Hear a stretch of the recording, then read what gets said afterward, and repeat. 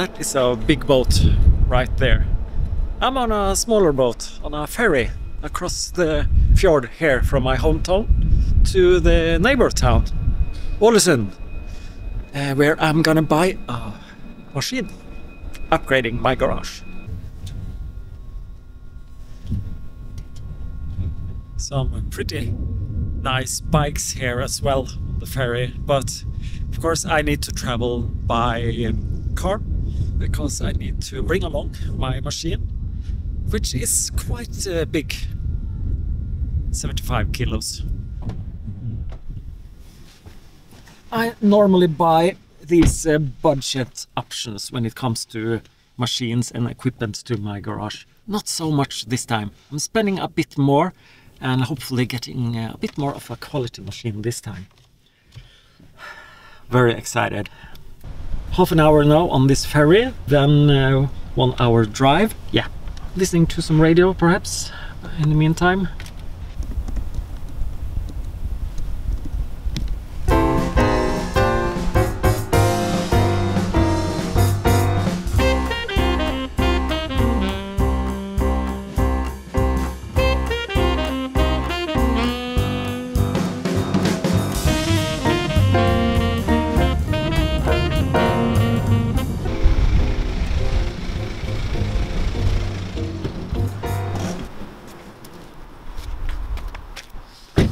Here I am.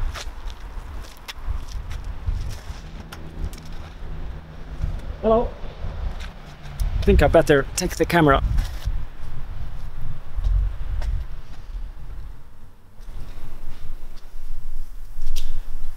I think somewhere here is my machine. Oh, there you are. You got my machine. Of course we have. Excellent. Let's Yes. find it. Yep. Let's find it. This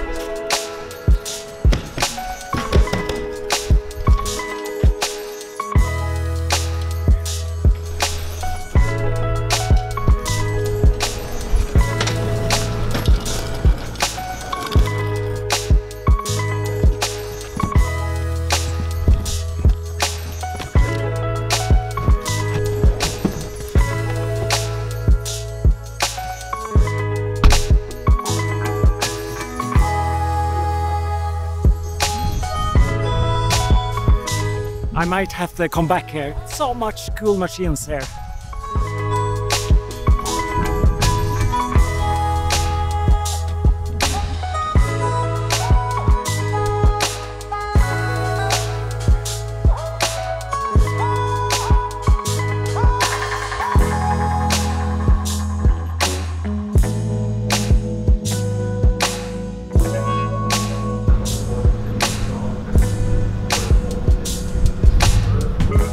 Back on the ferry, almost home.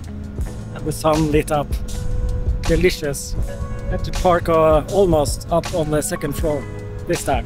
That's okay. Next, garage. Unboxing.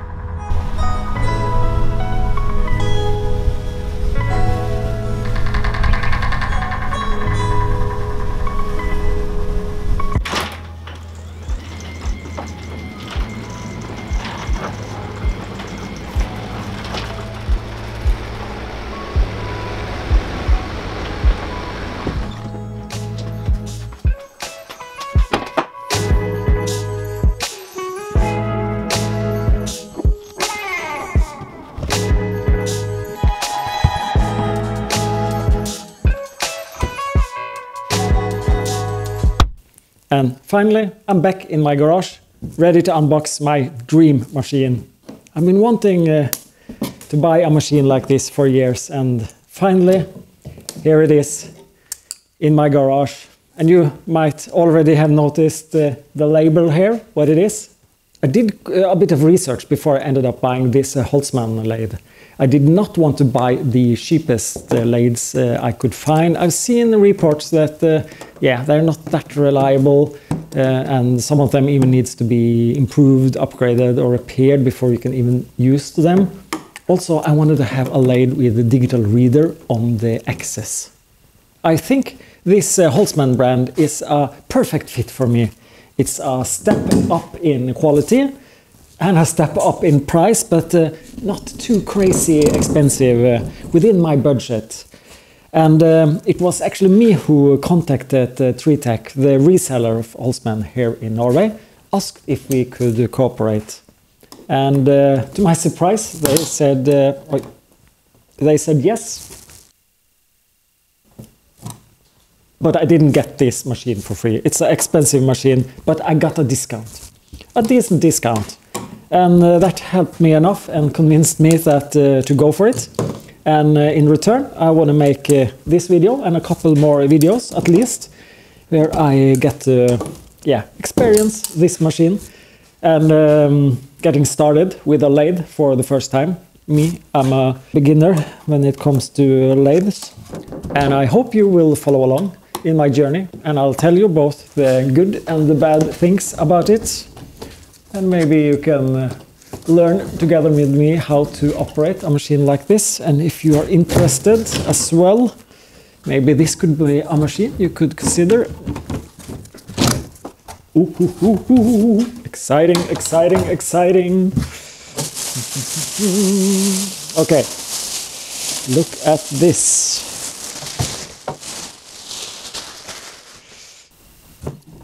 Upside down, uh, back ways. Let me turn it around. This is what you get. Hmm. User manual.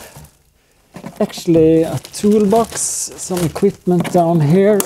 Everything seems to be tied down. I think I'll take off the side panels.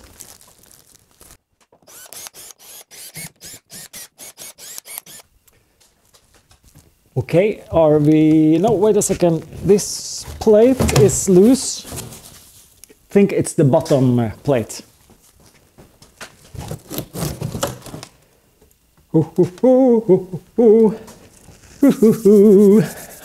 This looks nice. This looks nice. A toolbox with something, something.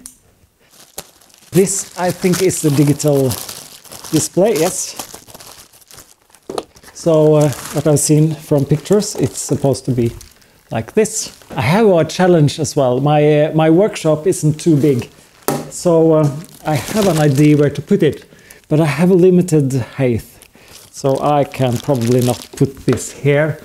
I probably need to mount it uh, lower down. Let's see how that goes, but uh, yeah, this is fun. So, my first impression after unboxing, very positive. The crate, solid. Uh, the lathe is bolted to the bottom here and uh, no damage. The user manual, I've taken a look at it, about uh, approximately 40 pages in English and real English as well, not like a bad translation and with the images and very well explained.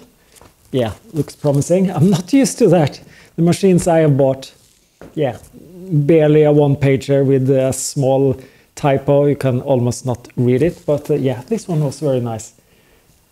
The first thing I need to do is, of course, to clean it. It's very oily, and uh, that's to avoid rust, probably.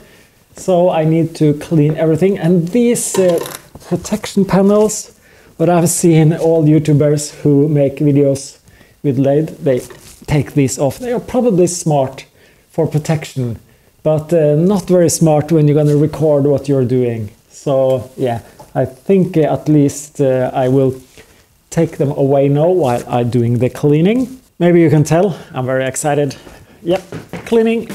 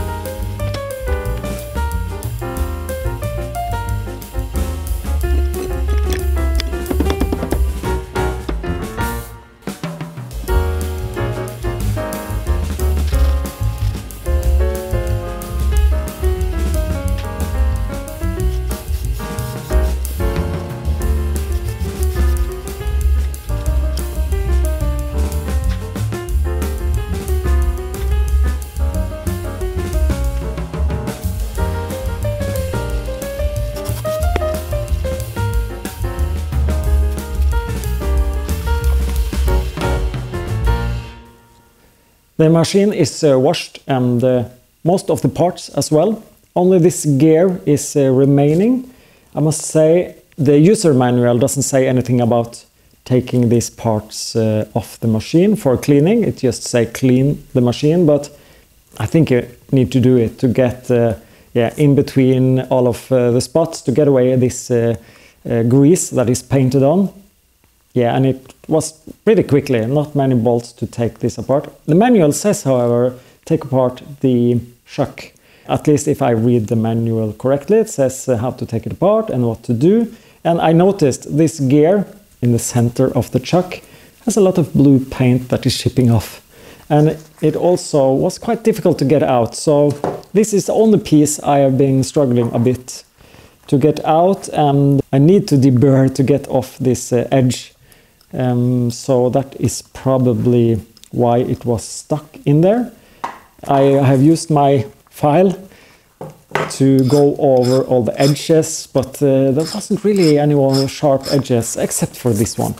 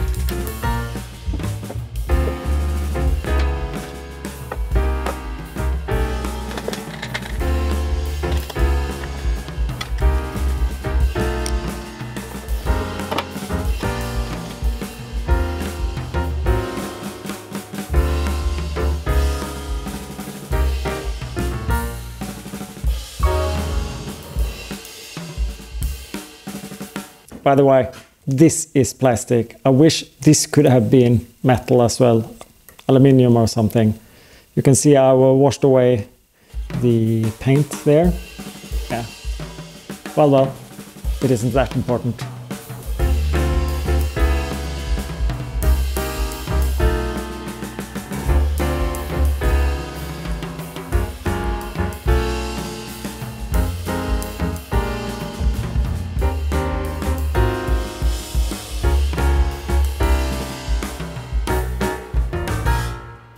Before I put on the chuck, I think I'll measure this one, see how accurate it is. This uh, micrometer, is that right name? It measures 0.01 millimeters. Okay, I have dialed it in. Let me start turning. Quarter, half, huh. full, maybe half 0.005. It seems to be quite uh, accurate. And you're probably very curious what's inside this toolbox. Well, here it is. These are the gears that uh, decide the speed on the lead screw. That's what's moving the lathe back and forth. I noticed these uh, connectors used to put uh, two of the gears uh, side by side. They are a bit tall. I actually had to file off approximately one millimeter. This is for uh, controlling opening and closing the chuck, and this is for putting on the, the cutting tools.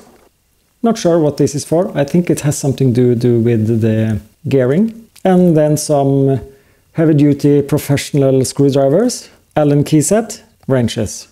This one goes in the tail stock, and this goes uh, instead of the chuck if you want to turn in between of points. These are some extra to the chuck. It's like reversed uh, to hold uh, stuff together differently. And the oil can. I'm really sorry, I don't even know what all of this stuff is called. But uh, I know enough to get started and I plan to learn more. And I also know that I need some cutting irons to get started, so I bought this kit. So this is a kit with uh, different types of uh, carbide uh, cutting tools. I've already fitted two of them on the lathe. Let's take a look. And um, here you can see I have put on my own self-made um, arm to hold the display as well. So I can move it like this for uh, storage. And when I'm going to use it, I can put it wherever I want it put on the truck, even a test piece. The only thing now is to put the table over to where I plan to keep the lathe.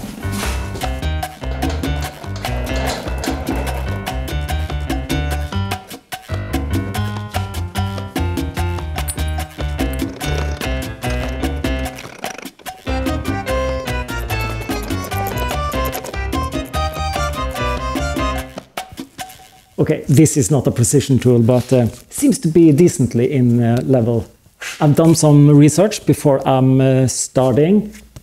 Gloves, you're not supposed to wear gloves when operating a lathe because these can grab a hook into something and yeah, not a pretty sight, probably. However, eye protection, especially since I have removed the original protection here, and uh, oil protection. Because what happens now when I'm going to start up this for the first time, and I've oiled this, it's a lot of thin oil in here, and when this starts, it will, uh, yeah, pour out some thin oil. So I'm just going to keep this here at the start to avoid getting too much oil in my face. Plugging in for first time.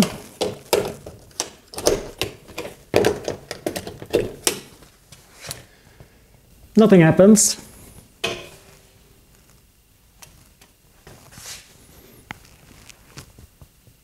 Still nothing happens.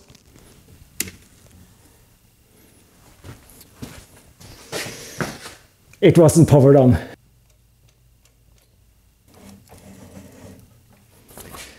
By the way, I forgot to tell you, I made an upgrade already. I saw some tips that uh, protecting um, this part, I don't know what it's called, this glider to avoid getting too much metal debris ships uh, down here. I just uh, found this rubber mat that I attached to this um, pretty easy.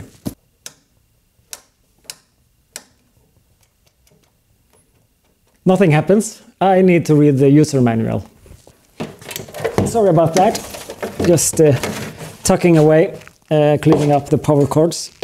Here, yes. Uh, sorry, I should have read the user manual. It's pretty pretty simple really. Uh, so what you're going to do is uh, select uh, forward or reverse here. I take forward. Then press the power on button. And then you set the speed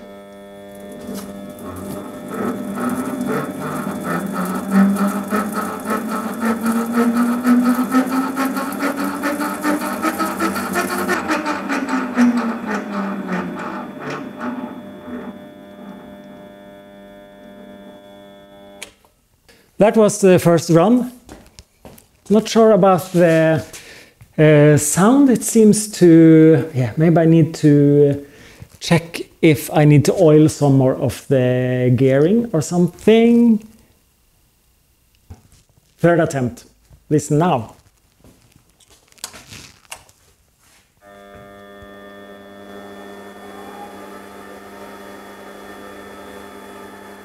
That is smooth.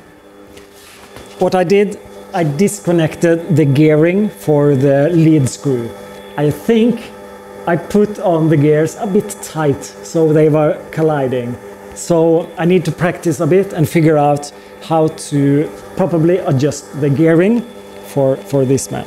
That means that this is now turning, so this will not work now to click it into gear to run it automatically.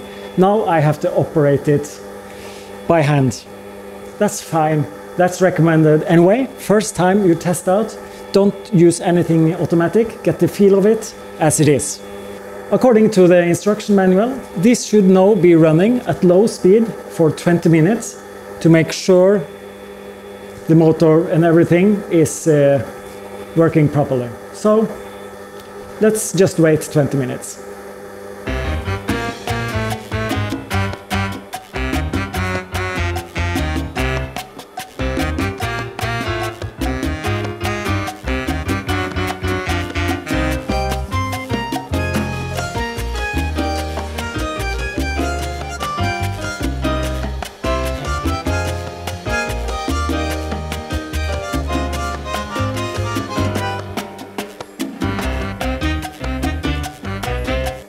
Okay, Google, stop timer. 20 minutes. Everything is working perfectly. Sure, 20 minutes. Starting now. Uh, no, cancel timer. Okay, cancel. I think I'll do a very small test. I would like to see how um, precise, accurate the chuck is um, compared to the tailstock they should meet up 100%. That is why I put in this steel bar, because I will try one small cut here, make a chamfer at the end, see if uh,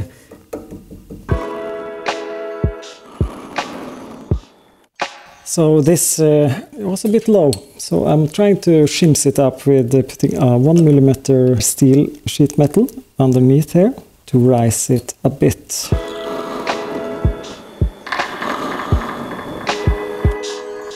Testing two of those.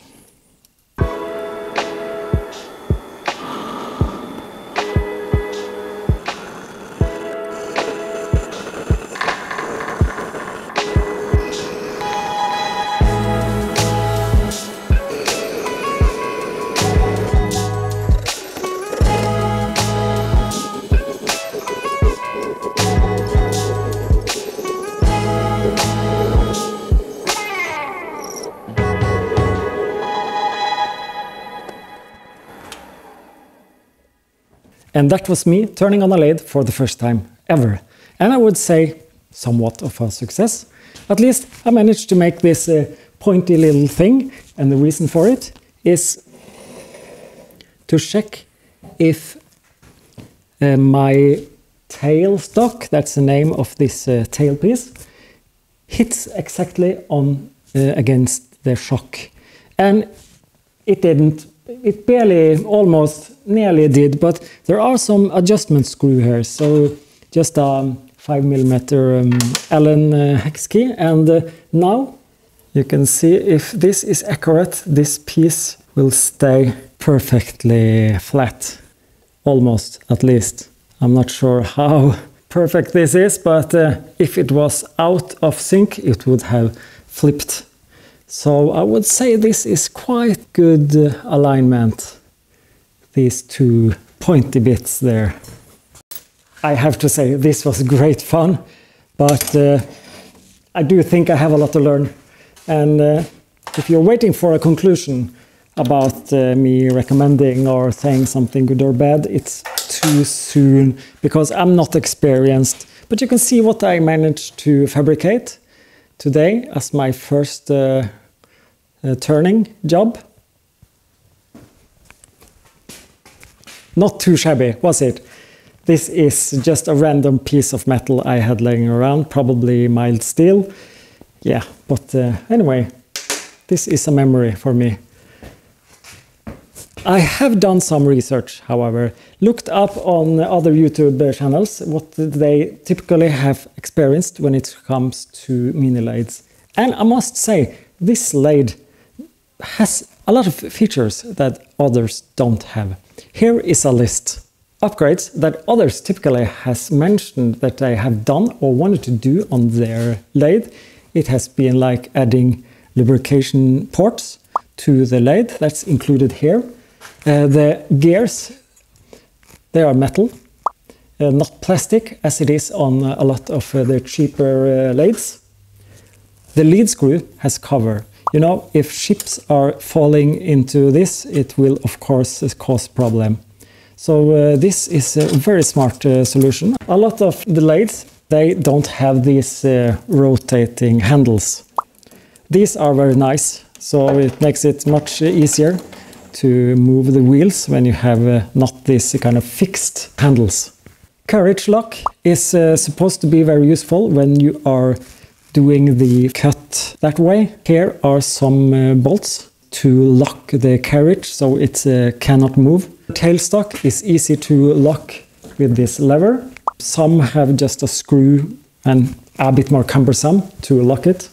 And of course, the digital readout is so nice. I can just uh, zero it out and when I move it's much easier to see on the display instead of have to count here to figure out uh, how much uh, the movement is. And I have seen others also have replaced their motor because it's too small. Uh, the smallest lathes has just 300, 350 watts motor. This has 450. It isn't that much bigger, but it can run up until 630 watts for shorter periods. If you have a heavy loads, um, uh, maximum four minutes out of 10 minutes, then it needs to cool down. So the motor should be a bit more powerful here than the smallest one. Also, a lot of complaints from the, the cheaper lathes that they are not rigid enough. This one is 77 kilo. The smallest one is normally just 40. I have bolted it to my quite sturdy metal table, so everything now is more than 100 kilo here. It feels sturdy and safe. But of course, uh, this lathe can also be upgraded.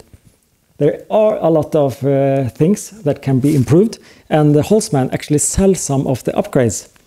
The first thing I might look at is this uh, quick uh, change uh, tool post. Instead of this, where you have to use these uh, three bolts to lock the cutting tool into it, it's possible to buy a quick release mechanism, just slide it in and lock it into place.